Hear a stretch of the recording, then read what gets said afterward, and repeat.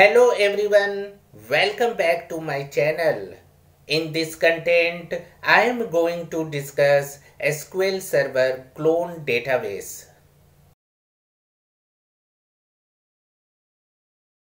Suppose you have more than 1 TB production database and wanted to perform query tuning on it. You may plan backup and restore database to test and development server. But you know storage is usually big problem for most of organization. What is solution for this? So solution is DBCC clone database. Generate a schema only clone of a database by using DBCC clone database in order to investigate performance issue related to the query optimizer. DBCC clone database would allow you to make a schema only copy including statics. Please like and subscribe to my channel and press the bell icon to never miss SQL Server interesting video. Let's connect with SQL Server Management Studio to show you clone database. So this is the syntax for DBCC clone database, sources database name, target database name, and options no statics, no query store and verify clone DB. No statics means table index statics not going to include with clone database. No query store, query store data will not include with clone of the database. Verify clone DB means you are verifying the consistency of new database. So let's create a clone of the database.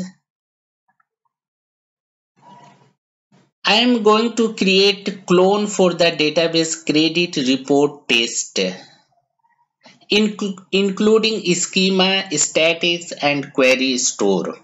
So DBCC clone database and target database uh, sources database is credit report test and uh, I am going to clone the database as credit report test clone. So let's uh, run this.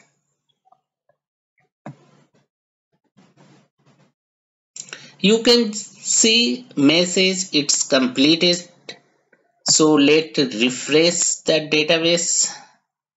You can see here credit report test clone database created. So credit report test all the system metadata copied to credit report test clone database all the objects of credit report test copied to credit report test clone database and also statics for all indexes for the credit report test copied to credit report test clone database. So you can create a clone database with no statics also if you no need statics for all indexes. So once clone database ready, you can tune your query and increase the performance of credit report test database. One things you have to note down when you are creating DBCC clone database, sources database will get a S lock. Okay, S lock sources database and the target database will get X lock.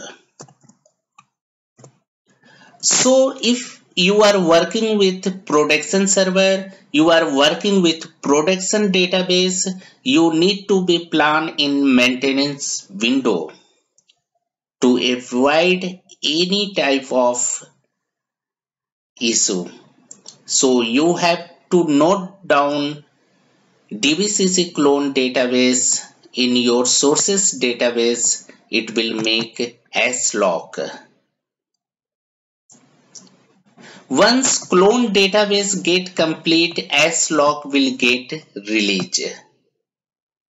So this is the process to clone the database without data and it is very useful to and very useful and help to tune your query and increase the performance of the database. Thanks for watching SQL Guide. Please share and subscribe my channel.